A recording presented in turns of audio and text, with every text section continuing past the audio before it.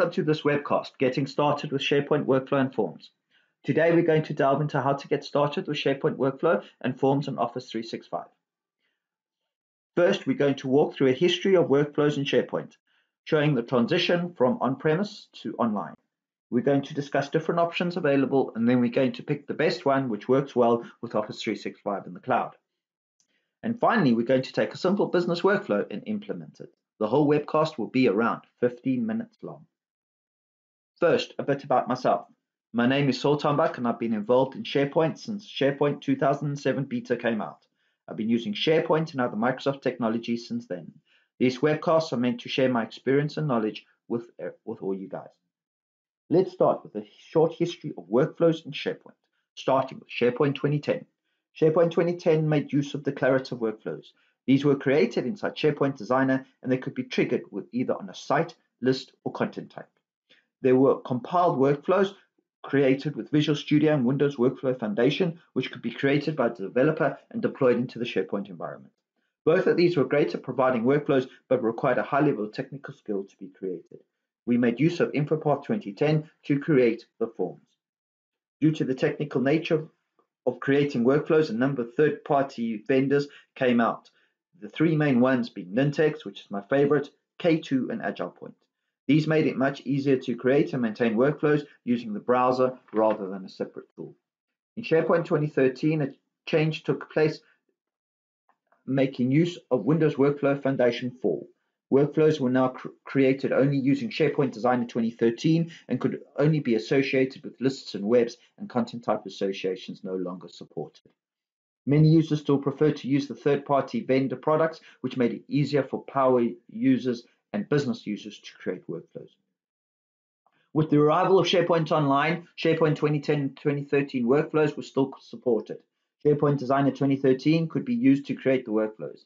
The big announcement in 2014 was that InfoPath would be deprecated, which sent users in search of new form solutions. The out-of-the-box solution still relied on SharePoint Designer to be able to create and edit workflows. We now arrive at the present, with two new additions to Office 365, Power Apps and Flow. Power Apps allow us to visually design mobile forms easily in the browser or Power App Studio. They can store the data in various stores, including SharePoint lists. Flows is a new workflow engine built into Office 365. It can uh, interact with many different services, including SharePoint lists. It is easy to use and configure, browser-based, and integrated into the Office 365 experience. Let's move on to a plan on how we could create a form with associated workflow in Office 365. We will store our data inside a SharePoint list, create a mobile form using Power Apps, and trigger our work, business workflows using Flow. So come on, Let's get started. Let's begin the demo. The first thing that I've done is I've created a blank team site here where we're going to deploy our list into. So let's get started and let's do our list. In order to do our list, we launch our PowerShell as an administrator and the first command that we enter is we're going to start keeping a log of everything that we're doing using start transcript. Start transcript is a very useful command that you should always run whenever you're doing PowerShell, whether it's on a live or a test environment. It keeps track of what you've done right and it allows you to also keep a track of the things that you might have done wrong. First, we need to connect to our SharePoint site. So there I've got my URL and I've stored my credentials in Windows Credential Manager so that I don't uh, so that it's nice, safe and secure there. And I've called that credential O365. So when I click enter, it's now going to go and it's going to connect to my site. Yay, I've connected to my site. Let's give a check that I have connected to my site. Let's see if I can get the web. Yay, I can get the training web. We, we, we're, we're on track. So let's create, using our PnP PowerShell commandlets, let's create the list. So we say a new PnP list, the name is joiners, it's a generic list and I want to display on the quick launch bar on the left hand side. So now that we've got we've created our list, we now need to add some columns. So we're going to use the title for the joiner's name, and I think we should have maybe the name of the manager as a user field. Uh, maybe we should have a checkbox to see whether or not we want to give the new joiner a laptop and maybe another checkbox to see if we want to give the new joiner a mobile phone. Right, let's go and have a look now at our site and see what we have created. You click refresh over here and we see in the left hand side the joiners and the quick launch bar. We click on that and here's our list. We've got title, manager, laptop, mobile. Let's rename title to join joiner's name. Uh, makes sense. There we go. So perfect. So now we've created our list, it's up and running. Now what we need is a nice form for the list. So we can see over here, we can connect, we can create a, a Power App form straight by clicking over here and we ask for the name. We're going to call it the joiners form. Click create and one, two, three, off it zooms.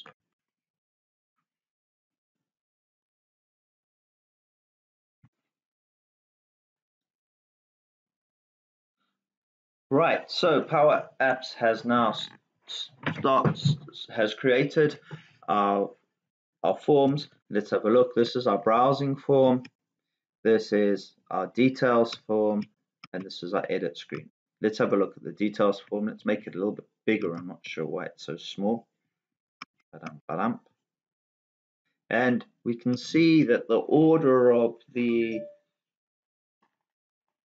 of the fields isn't in the in, in the order that we would like. So if we just click here, it comes along and it gives us the ability to reorder. So what I want is I want the title first, which is going to contain the name. I want the manager second, and I want laptop and mobile third and fourth. Over here, I don't like it being called title. I want it called joiner's name. So we just double click there. Just type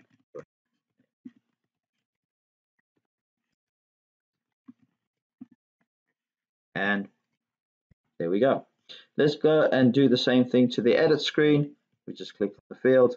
We're going to reorder it. Title first, manager second, laptop and mobile third and fourth. And again, we're going to call title joiner name. And now we have completed all the work that we need right now on our Power App joiner form. So we're going to save it. Do we give it a name? Yes, we did. Uh, we'll just leave it at the default and we click save. And it's saving off to Power Apps. Beautiful. Let's do a test. Let's give it a run and see how it works. So when we shut this down, yep, go away, bye-bye. We come back and we say, I want my Power Apps. Yes, my Power Apps. should give me a list of all the Power Apps. Here we go. List. So we come over here and we say play, and now it's going to launch our form in the browser. This can also launch on your mobile phone or anywhere or any other mobile device that you might be using or you might have. It says new joiners form coming up and we get our search form. So let's add it and let's add our first employee. A guy called Scott. So I'll be his manager. We'll give him a laptop, give him a mobile phone maybe, and click the tick button and save. Now we've got a new employee called Mr. Scott Hanselman. Welcome aboard. Great. Now we know let's go and see if this actually saved the information in our list. So we'll just navigate to our training site. We'll click on join us and wait, the form saved the information directly into our SharePoint list. That's perfect. Now what we need to do is we need to go and we need to create our workflow. The same way that we, we launch Power Apps, we say create a flow. Now we can see on the on it presents us different types of flows that we could create. We could send an email, send an approval email, um, and send a tweet, loads of other different things. What we're going to do is we're going to click send more. we're going to start with a blank workflow. Uh, workflow. Great.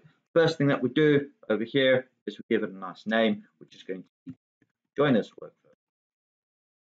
We're then going to say that the, the action that we're doing is SharePoint, and we're going to it's going to trigger when a new item is created. We give it the URL that we are using, which is web.com slash train. And then when we come over here, it automatically says, well, I know the list. And I say, great. So when that happens, I want an action to occur. The action that I want to occur is an Office 365 task. And the task that I want to occur is I want to send an approval email, which is an email requesting for the manager to approve it. Who are we sending it to? We know that we already have specified who the manager is. So we go along here, we find the email address and we say send it to that manager. Subject will be an approval request for this particular person. We saved his name in the title. We have two options, approve or reject, and in the body of the of the approval email, we say, please can you either or reject this join request. And that's done. So now once that's finished, we then need to have an if statement, which will either say if it's approved, do this, if it's not, if it's rejected, do that. So we add a step, and the step that we do we add is a is a condition, and we say that when the selected option is equal to approve, then if it is approved, we will then send a notification by email. The subject can be approved, and we can say the joiners request for Mr. Title is approved. Let's go to the reject, add an action, same thing. We can send a notification by email. We're going to say rejected. We're going to say the new joiners quest for Mr. Title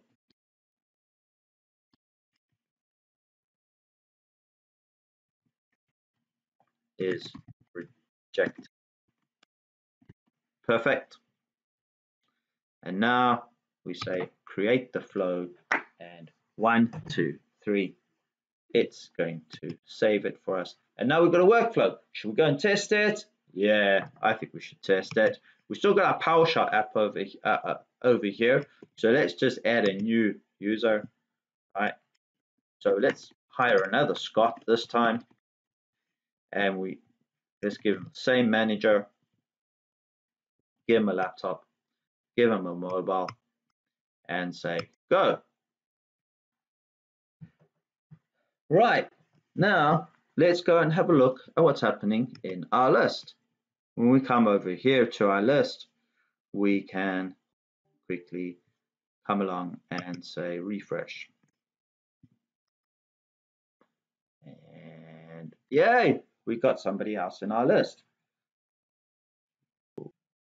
And now here we are in our Outlook on Office 365 and we can see that we've got an approval request for Scott Guthrie. Remember that's where we put in the title field and it says approval request for Scott Guthrie. Please can you either approve or reject this new joiners request. I think we're going to approve him. I think he's quite a good candidate. Let's see what happens. If we click approve, it says thank you very much. Your response has been successfully registered.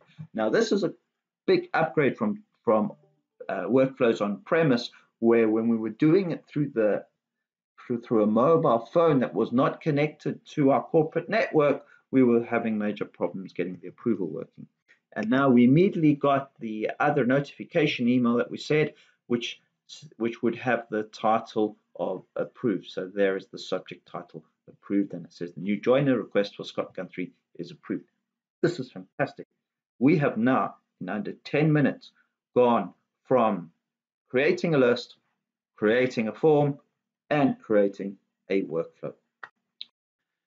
We now come to the end of the webinar. I'd like to give a very big thank you to all of you for joining me and for listening. I hope that you learned something new today and that I hope that you will look out for my next set of webinars coming up soon. If you'd like to contact me, you can either contact me on my website, shareanswer.co.uk, or you can contact me, connect with me on Twitter at sp underscore musa.